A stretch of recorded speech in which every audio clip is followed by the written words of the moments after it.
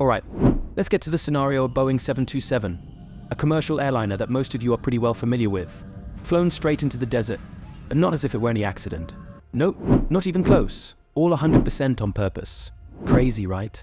By the way, it was not even a terrorist attack. This is one of the wildest scientific experiments ever pulled off to improve flight safety. But why smash a perfectly good plane? What could ever come out of that? In this video, we discuss the unbelievable story behind the planned crash. We'll look at how all of this came together, who thought it was a good idea, and what they learned from the wreckage.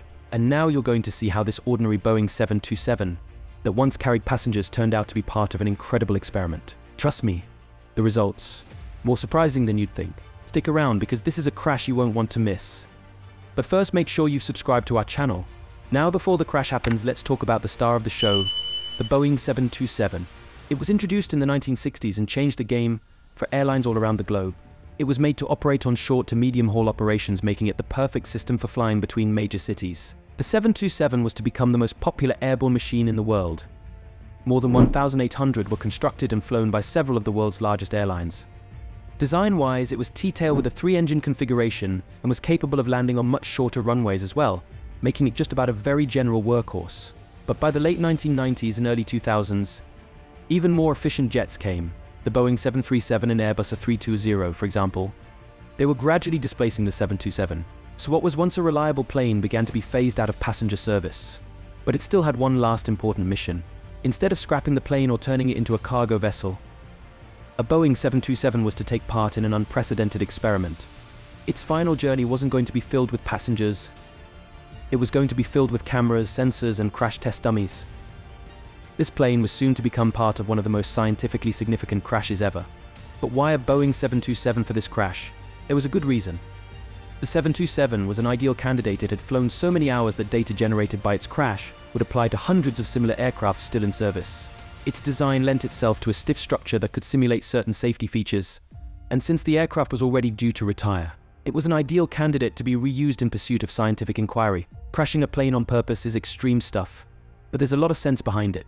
In real life, investigators only have a snapshot view of what went wrong. They have to sort through wreckage, black box data, and survivor testimonials to learn how to make safety better, but that's a pretty narrow view. What if, instead of crashing, we could plan a crash and collect all the data we need to make flying even safer? That's exactly what this test was set to do. The scientists who set the crash had such goals as understanding how various parts of the plane would act while crashing, how passengers could be better protected, and also how to prevent one of the most dangerous outcomes of a crash fire caused by exploding fuel tanks. There were three major goals. Test seatbelt and bracing performance, seat placement. When people are harnessed, it can literally mean the difference between life and death in a plane crash. But how do we know if the methods we are using presently are the best possible? Structural integrity of the aircraft. They were interested in knowing how much the fuselage would deform, where it would break, and how well it would protect its occupants in the case of a crash. Fuel tank explosion prevention. In many crashes, this impact ruptures fuel tanks and leads to truly horrific fires. They wanted ways to mitigate that risk. Among the big backers of the project were NASA and the Federal Aviation Administration, heavyweights in this sector. With those agencies on board, this was not one of those spectacular stunts, but rather a real scientifically endorsed mission to collect much needed information and increase air safety for millions of travelers. Crashing a plane safely is no small feat. This took months of preparation, agencies working in tandem with one another, and serious logistical engineering. The first decision would have to be the location. They sought an area that was remote enough, so the crash wouldn't threaten any communities near but accessible for their scientific teams. After scouting around, they finally settled on a huge expanse of desert to crash into, deep within Mexico. This was the perfect scenario, flat, barren, and isolated. The modifications of the Boeing 727 itself followed next. It wasn't just a matter of flying it into the ground and hoping that would satisfy the requirements. For example, the interior of the plane was filled with crash test dummies, each fitted with sensors to measure the forces they would experience when the aircraft hit the ground. A crash, it seemed, required cameras inside and outside the plane to record the smash in every angle possible. This produced hours of clear, high-definition footage which scientists analyzed later. 50 different instruments were spread throughout the plane to measure everything from deceleration rate to how the plane's structure deformed from stress. Perhaps most fascinating, though, was how the plane would be flown. It was piloted by human pilots who took off in the Boeing 727 and flew it to around 2,000 feet. But when it was on final approach, the pilots ejected and parachuted to safety, leaving the plane to be flown remotely by a chase plane.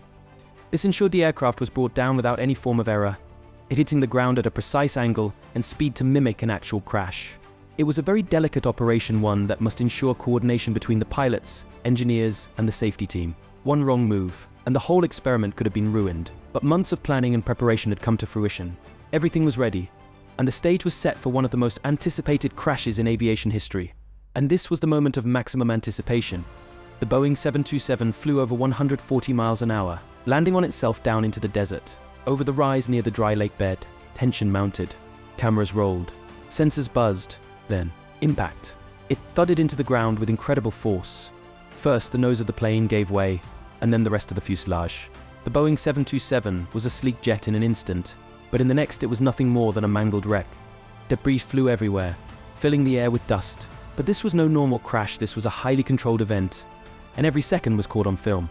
Inside the plane, crash test dummies were hurled forward, simulating the movements of real passengers.